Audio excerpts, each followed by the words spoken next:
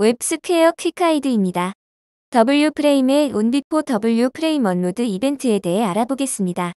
이 이벤트는 페이지가 닫히기 전 페이지에 포함된 WFrame에서 발생합니다. 사용 예입니다. WFrame에 해당 이벤트를 추가하고 이벤트 함수를 정의하십시오. 예제를 통해 확인해 보겠습니다. 이 트리거에는 onclick 이벤트가 걸려 있습니다. 트리거를 누르면 WFrame 팝업이 생성되고 소스 화면은 소스 XML 파일입니다. 소스 XML 화면에는 WFrame이 포함되어 있고 이 WFrame에는 온비포 W프레임 업로드 이벤트가 binding되어져 있습니다. 페이지가 닫히기 전 표시할 메시지입니다. 트리거를 클릭하면 팝업이 표시되고 팝업을 닫으면 소스 화면에 있는 WFrame과 binding된 온비포 W프레임 업로드 이벤트가 발생하는 것을 확인할 수 있습니다. 웹스퀘어 퀵가이드를 시청해주셔서 감사합니다.